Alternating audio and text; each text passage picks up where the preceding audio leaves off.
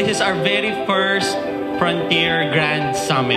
Dati mga events ng Frontier nasa McDonald's Greenbelt 1 lang. Right? Ito na yung pinaka-grandest na afford ng Frontier. ba? Tapos ngayon nandito na tayo sa New World Hotel sa Below. So seven years ago, nandun kami when yung Sana Philippines opened. Never did we imagine na yung Frontier aabot sa ganitong level.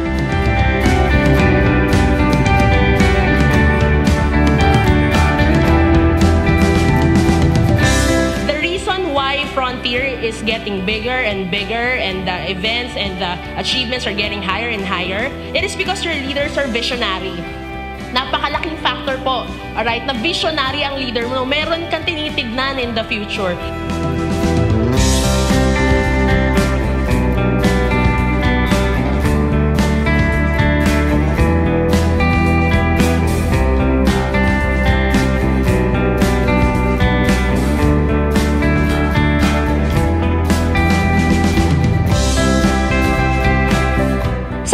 Natin dito sa sana hindi naman paunahan dito.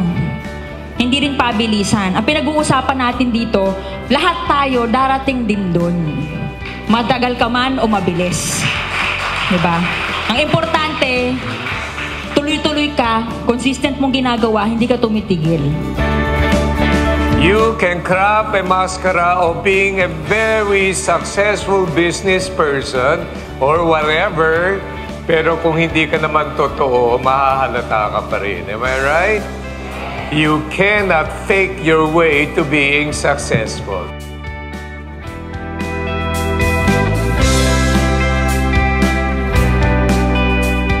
to five more very successful and faster um, results for the team. Cheers, guys.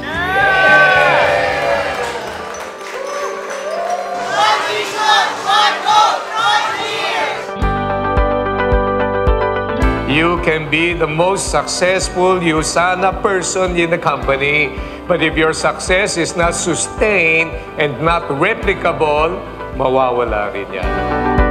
You want to earn well? You be good at what you do. You want to earn more? You be excellent at what you do. You want to earn a fortune? You be the only one who can do what you do. Then you command the prize. You gotta focus on utilizing your time on activities that will add value to your success goals. Kung inisip namin, paano namin mapapa-personalize para ikaw specifically nabuboost yung business mo.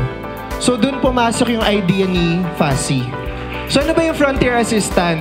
Ito yung magiging personal assistant mo every day para mag-guide ka kung ano yung mga dapat mong gawin. So, pag sinunod mo siya for the next couple of days or weeks or months, definitely, you can earn your first six digits agad. Lahat kayo, meron pa talagang mga pangarap na gustong gawin. Hindi mo lang nagagawa dahil pera lang talaga ang kulang pa. Ang good news ko sa inyo, nasa Yusana na tayo.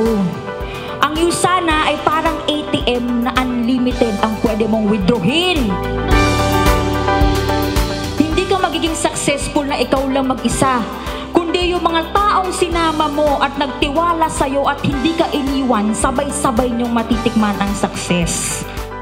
Small in number, so what? Deep in quality, that's the way to go. And then you grow. You grow bigger, you grow wider, but you, you gotta make sure you also grow what? Deeper. And that's what success of is all about.